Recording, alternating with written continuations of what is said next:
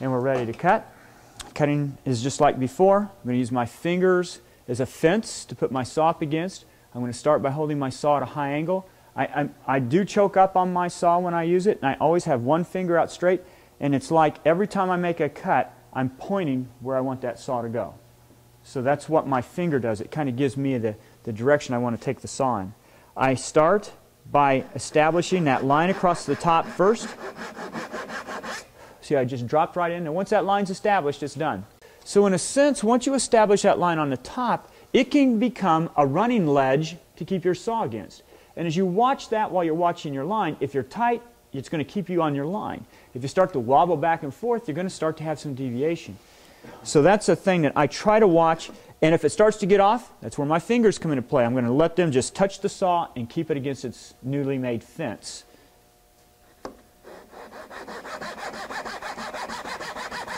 I'll cut right down to my scribe line.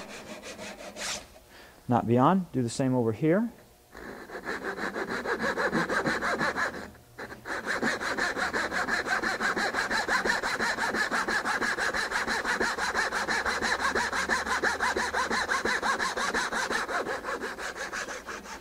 right down to, not beyond. Okay, so let's go back and cut this bit out. I'm going to take my chisel, put it right into my established line, bring it up straight, and lightly tap it. Some of you have been tapping way too hard here. That's all it is. Flip it over to the other side, put my chisel in, bring it up straight, lightly tap it. We're just simply creating a deeper scribe line. I'll come back and establish that little rim or that edge. It'll become the fence for the chisel for the next pass. By just simply paring out at an angle. You need to do this with good control too. This, is, this would not be a cut for a mallet. Although a mallet is a good, good tool and it has its place right now, I want far less pressure than the mallet's going to give me.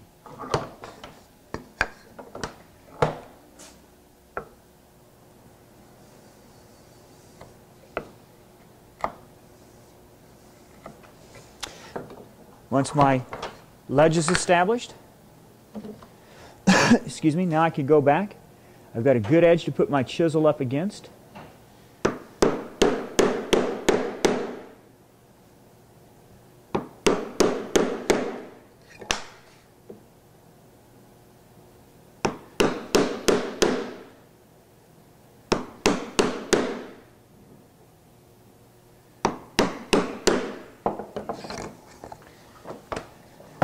I didn't try to overhit.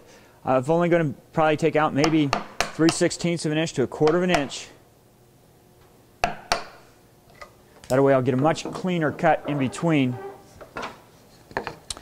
um, each face. This is one of those cuts where I, uh, the chip has to come out the narrow side, so I'm going to take out the center part first and then go back and do the edges last.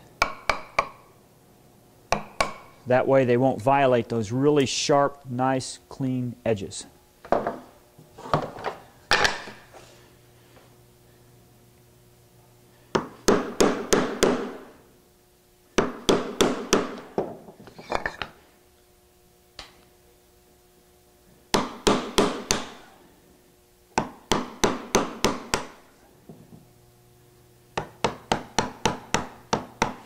I've got a, a, little piece here that's just didn't break off. It's sticking up right there. That would interfere with my cut. So I'm going to go back and make sure I get it cleaned out. And I'm going to do this with total control. Now, here's something I'm going to do. When I hold my chisel, I'm going to pinch it about right there.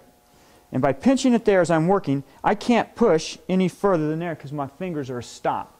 So I know that it, I, what I don't want to do is do this and come out this side because I'll end up tearing or splitting or ripping somewhere. So I've got a built-in stop. As I'm trying to pare this off, I'll work from one side just make sure everything's out of the way and I can't push beyond. Turn my piece over to the other side.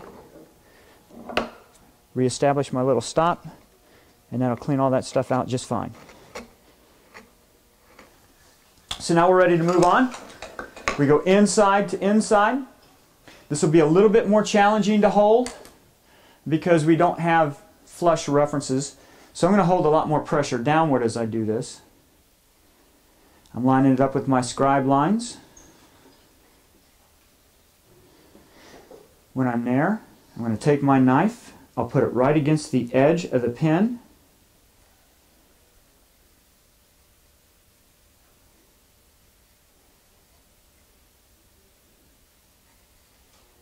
So I'm getting a good, cleaned, deep knifed mark.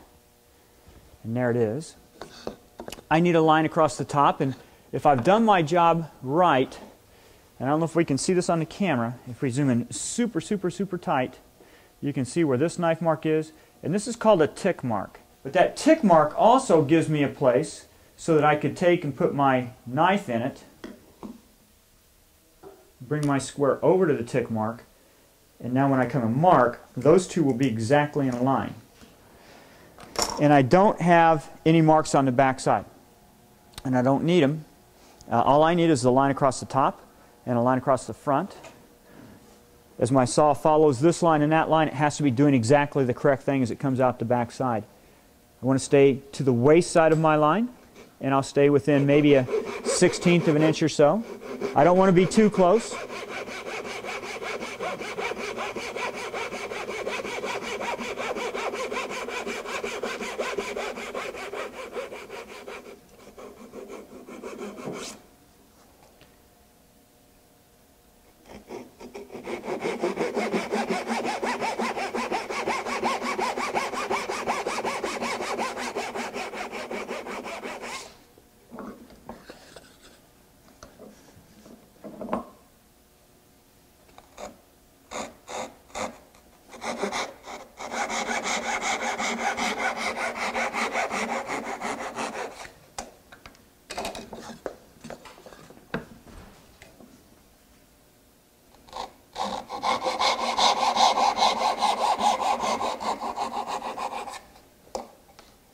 And there's my tail piece.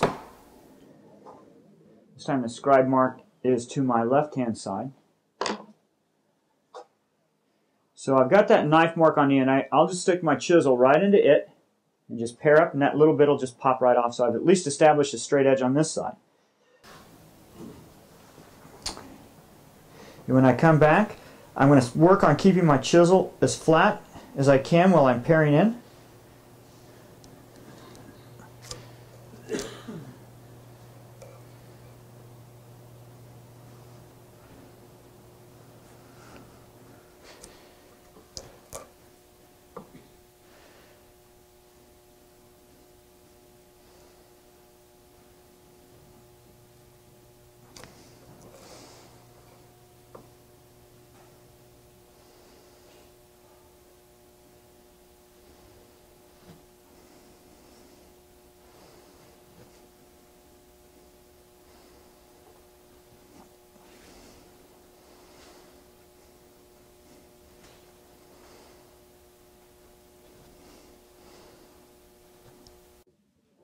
And I'm pretty close to being there. Still see a little bit of the pencil mark. Going to do my shoulders again. With my shoulders, I like to go through and do the outside edges because that's what people see.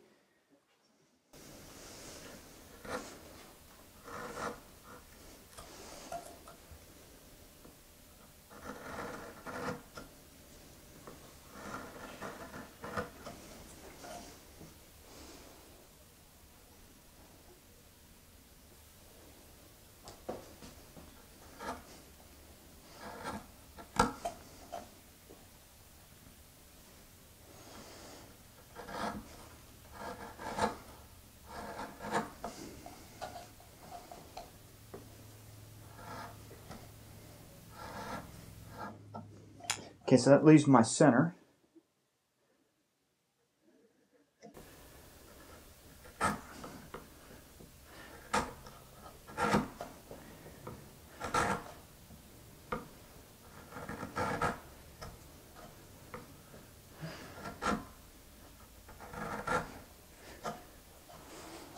And that one looks pretty good.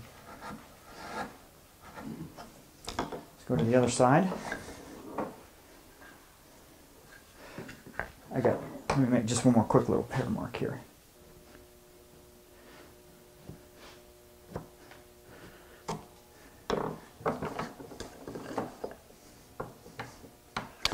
Do the long grain first.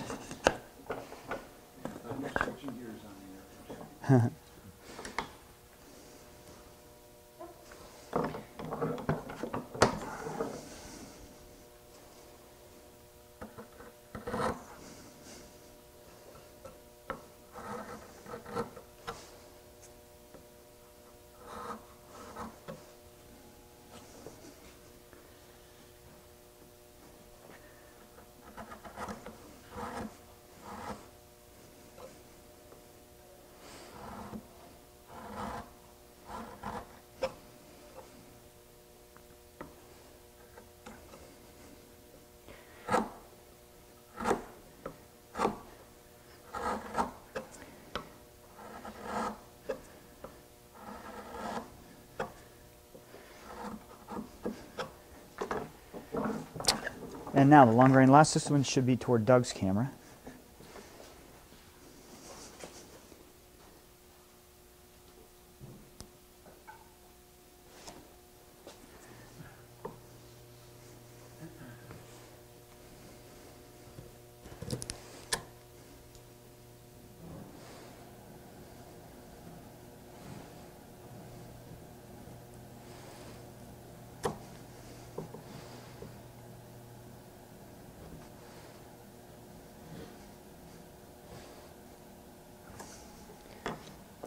And I think we're probably pretty close. Looks good. Okay, inside to inside.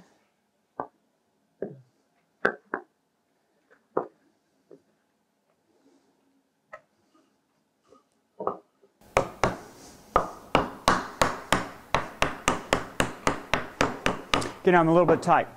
Now, as we get into doing multiple pins and tails, and as you're trying to figure out which pin and tail, because if you've got four or five or six of them going on, and you're wanting to know where the problem is in terms of the fit, the best way to do it is to just take some lead and just put a little lead right here and right here. Okay, see where I put it inside the pins? On, on that tab and on that tab? And I'm going to go back and I'm going to put the two together. And the lead, because it's a nice fit, as I tap it in, I don't want to go too terribly far. But I'm getting in there pretty well. I can put it together probably the rest of the way, but let's see what's happened. So I can go back and I can read right now. That is definitely a tight section of what's going on. Not quite as tight there, but those are two places where if I just take off just a fraction, probably no more than the lead itself.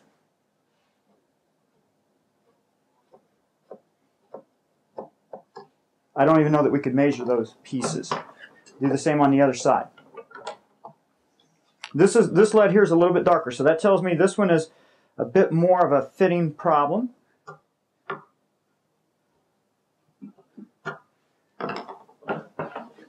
Just a few thousandths of an inch. We'll go back inside to inside.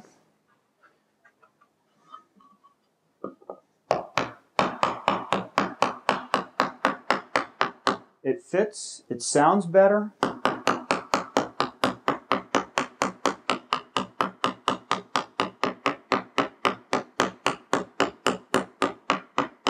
I'm not going at it too hard or too fast.